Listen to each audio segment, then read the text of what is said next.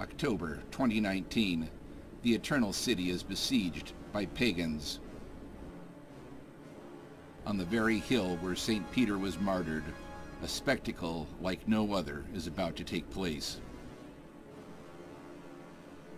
Pagans swarm Vatican Hill. They engage in silly dances.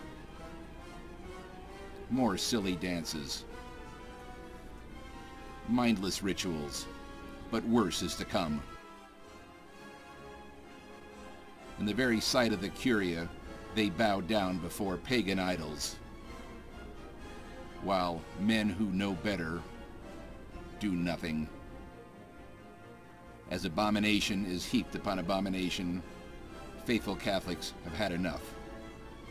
Catholic commandos gather, they prepare, and when the time is right, they strike.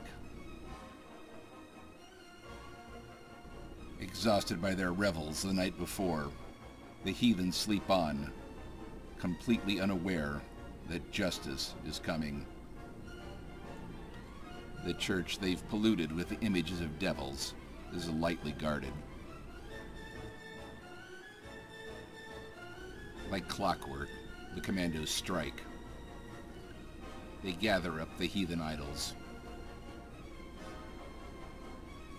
The graven images are given the send-off they deserve. This blow for the freedom and exaltation of Holy Mother Church is heard around the world, and soon others respond.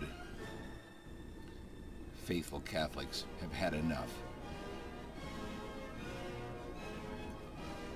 Faithful Catholics will no longer tolerate blasphemy. These idols are given exactly what they deserve.